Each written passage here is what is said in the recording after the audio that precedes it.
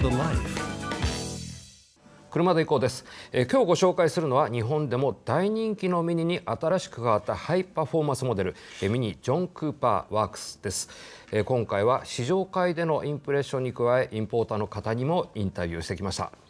3ドア、5ドア、クロスオーバー系などさまざまなバリエーションがある中で際立つ個性として最も走りを極めたというミニのジョン・クーパーワークス。とても楽しみですよね。はい、えーまずはポイントから見ていきましょう。ミニジョン・クーパーワークス3代目ミニの中で最も走りを追求したチューニングを施したモデルです。走りを感じさせる専用のエアロキットを標準装備しながら一目でミニであることを強烈に印象づけるデザインはミニの持つぶれない世界観を表現しています。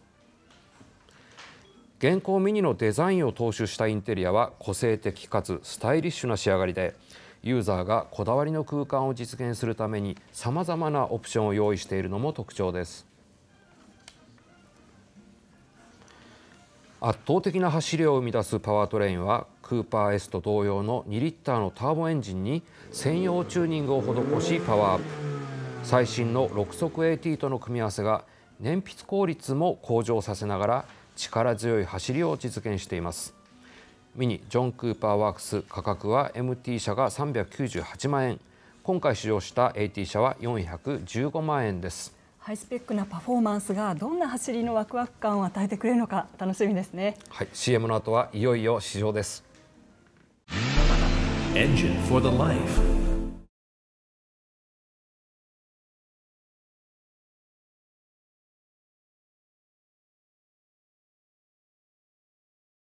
今日はミニのジョン・クーパーワークスに乗っています。あのジョン・クーパーワークスというとミニの中では最もパフォーマンスの高いモデルということでこの3代目ミニにもようやく登場してきたということですね。エンジンは2リッターの直4これあの、クーパー S と同じエンジンなんですけれどもやはりチューニングは全く違っていて、プラス39馬力の231馬力と、まあ、このサイズの車としては相当パワフルなエンジンを積んでいます。まあ、今高速道路をこうやって平和にのんびりと流しているんですけれども、えー今1300回転ぐらいで巡航してますがこの低い回転域でもしっかりとトルクが出てなおかつスムースに回っています乗り心地はそうですねあの歴代のミニと比べるとやはりえ現行のミニは相当コンフォート上がっていますただこれドライブモードをですね、えーこれ3つあって、えーエコとノーマルと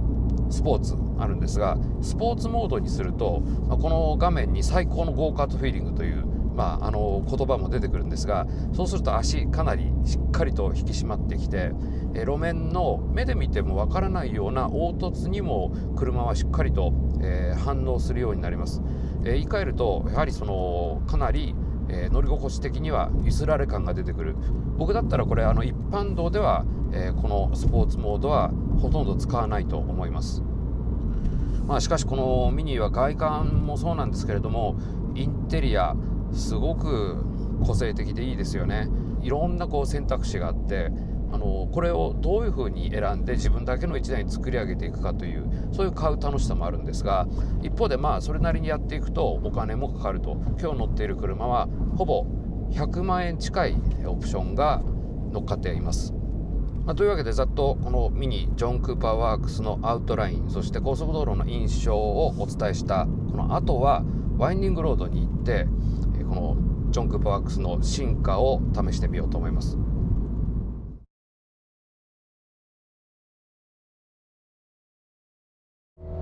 ワインディングに入ってきました。今スポーツモードでワインディング走ってるんですけどまあこのエンジンといい足回りといいもうこれ最高の出来ですよね。あの一昔前まで FF でこなせる出力っていうと、まあ、せいぜい200馬力ぐらいだろうと言われていたんですがこのミニのシャシ231馬力をもうこれ完全にこなしきっています。ドライバーが狙った通りのラインプラスちょっとこう内側に入っていくぐらいのそのぐらいのまあハンドリングでよく曲がるなと思います、えーこの辺りのその味付けそれからまあその味付けを支えるハードウェアですね。これはまあかなりの実力です。現代のミニは BMW がエンジニアリングをやってるわけなんですけれども、まあ、やはり BMW というと FR という、まあ、伝統があったんですが、えー、なかなかどうして FF を作らせてもやはりこれは天下一品ですね。今日乗ってるのは6速の AT モデルなんですがこれパドルで操作ができます。このトルコン式の AT であれば、えー、DCT にもうあの全く劣らないぐらいのレスポンスこれを味わえます、えー、それでいてやはりその低速域ですね。特にその街中とかパーキングスピード、えー、そういったところでの扱いやすさが、えー、とても優れているのでこの愛信性の6速 AT はかなりこれは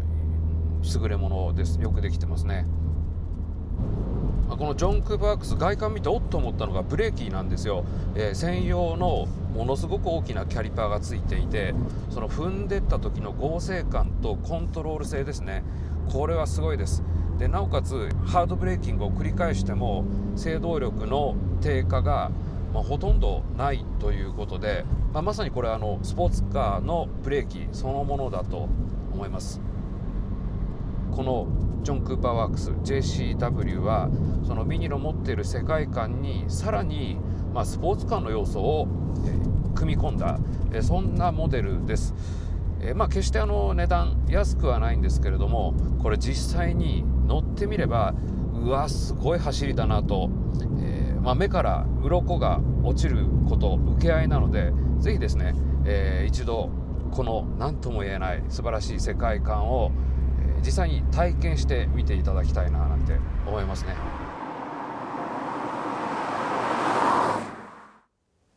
それでは安全性の評価に行きましょう、えー、ミニジョン・クバークスこのようになりました。これ実はですねあの安全性評価の基準を変えました。というのも最近はどんどんどんどん新しい安全デバイスが増えてきたんですね、えー、によってやはり当番組でも、えー、安全性評価の基準をアップデートしようということになったわけです、えー、詳しくは番組のホームページにも書いてあるのでそちらをご参照ください。そして、えー、今回ですねこのようになっている中で、えー、衝突回避ブレーキですね。それから歩行者検知機能。これが、えー、オプションということで三角になっています、えー、車線逸脱警報。これは、えー、装備がない。ということで×その他サイドエアバッグカーテンシールドエアバッグがついていますであとこの車に関して言うと全席の2エアバッグ等々ですね、えー、かなり安全性は高くなっていますが、えー、結局新基準でいくとあと一息となるわけですね。えー、ともちゃん今回の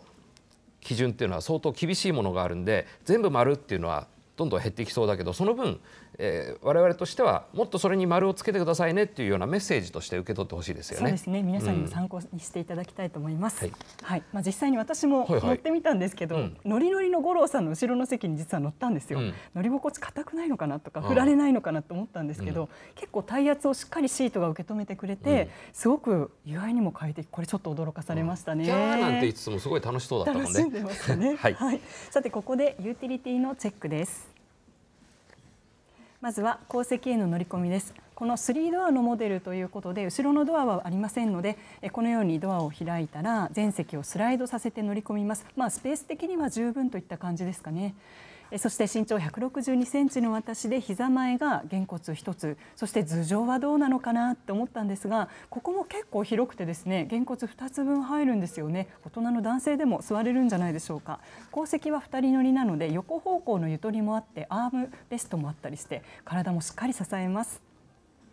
そしてラゲッジスペース。さすがに後ろの席に人が乗るとちょっと狭めのスペースかなっていう印象ですがでもこれ結構アレンジすると荷物がたくさん詰めて40対60の分割可動式さらにラゲッジボードは上下2段式でフルフラットにも調整できます。そしてボードを上げるときはこのようにカチッと止まるような機構もオプションで用意されているんですね。えそしてこのように、えあのように蓋を開ければ背の高い荷物もちょっと積み込みやすくなったりするんですよ。なるほどね。まあ絶対的には大きくはないけれどもいろいろ使い勝手としては工夫されてるみたいですよね。そうですね。はい、えー、CM の後は担当者インタビューです。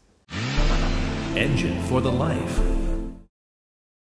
さあ市場でものすごく楽しませてくれたこのジョン・クーパーワークスについて BMW ジャパンの岡田さんにお話を伺いますよろしくお願いしますよろしくお願いします岡田さんあのこのジョン・クーパーワークス、はい、このモデルについてまああの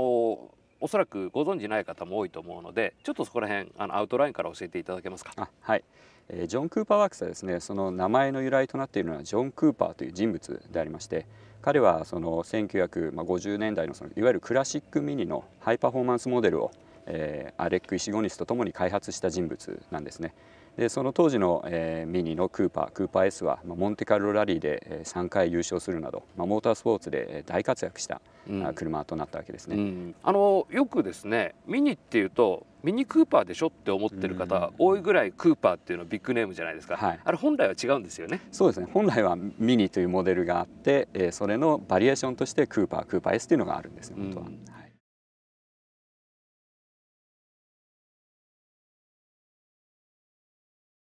一つマイルドな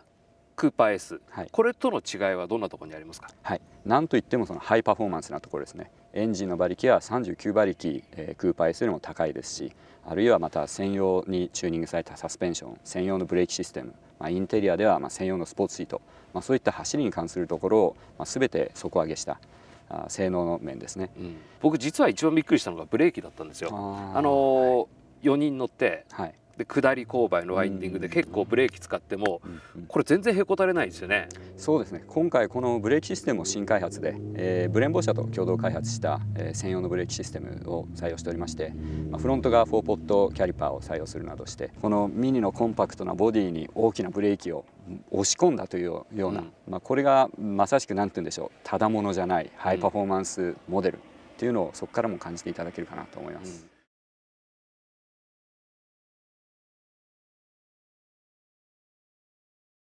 ミニ本当に今すごく大きたくさんバリエーションがあって、はい、その中でこのミニのジョン・クーパークスっていうのはどんな方をターゲットユーザーにしてるんですか、うん、そうですね。あのミニ自体も、えーまあ、ゴーカートフィーリングということで走りを極めてあの重要視しているブランドであり、まあ、それをあの楽しんでいただけているお客様が多いんですけども、まあ、ジョン・クーパークスはさらにですねもっと走りを追求されるような方ですので具体的にはやはり男性の比率が高まってきてですねこのモデルに関しては3ドアですのでお子様がいらっしゃらないような、うん、えー、まあ、後ろの座席はそんなに頻繁に使わないようなお客様、まあ、そういった方がターゲットになってくるかなと思います。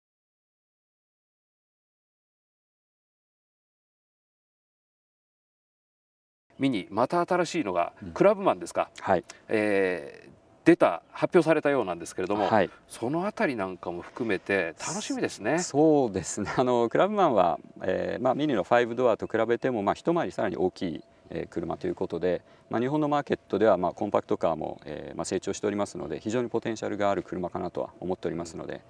えー、まあ日本の市場に関してはまあご期待いただければなと思います、うん、バリエーションが増えてもなんかミニっていつまでたってもミニだしぶれてないような気がするんですけれどもそのあたり岡田さんとしてはどんなふうに捉えてあるいはどんなようなこうコミュニケーションをユーザーとする中で気を使っている部分があるのかあったら教えていただけますか、例えばそのデザイン一つとっても別にクラシックミニをそのパクってるわけではなくてクラシックミニのデザインを理解した上で BMW グループとしてのミニのデザイン言語というのを定義した上でデザインしてますのでですのでバリエーションを増やしてもぶれないものが提供できてるかなと。思います、うん、今デザイン言語ってお話が出て言葉が出てきたんですけれども、はい、これは要するに大きさが違ってもドアの枚数が違ってもでも一目でミニと分かる。遠くから見てもミニと分かると、うん。はい、なるほどね。まあそう考えるとまたミニっていうのは日本でまあ人気ありますけど、はい。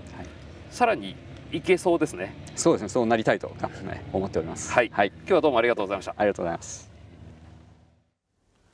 それではミニジョン・クーパーワークスの評価に行きたいと思います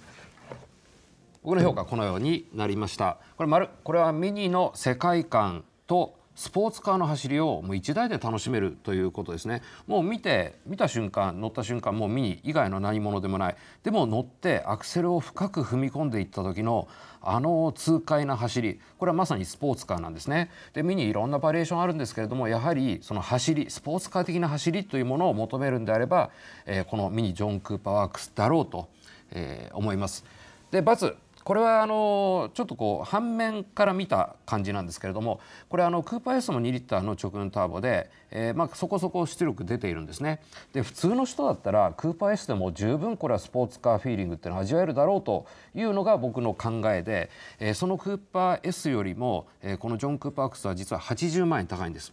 えー、考えようによってはクーパー S を選んでおいて80万円分いろんなオプションあるんでね楽しいオプションをつけていくとそれもまた楽しいのかななんてっていうふうに、えー、思いましたね。はい、はいえー、私はですね丸なポイント、えー、これは車がドライバーのテンションについてきてくれる走りを披露するといったところですね、まあ、今回は6速 AT のモデルでしたが同乗者と会話しながら流す時はゆったり燃費よく走れるしここは楽しまなくちゃっていう気分の時には、まあ、車がアクセルペダルの踏み込み加減を絶妙に汲み取ってドラマティックな走りを披露してくれるんですね。その時のドライバーの気分を汲み取るこの空気の読み方素晴らしいと思います。そしてバッテンこれは五郎さんと性格の違いが出ましたが もっとビビッドなモデルを見てみたいというふうに思いました、うん、まあ、最近のミニのモデルの展開を見ると、まあ、3ドアの他に同乗者を意識した5ドア SUV 的な、まあ、クロスオーバーなんていうのもありますよね、まあ、幅広いニーズに対応しているといった意味で見ていくと、まあ、絶大な安心感を与えてくれる走りはいいんですが3ドアならもっとビビッドなものも見てみたい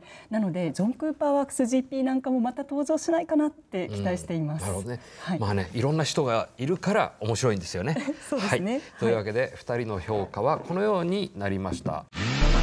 Engine for the life.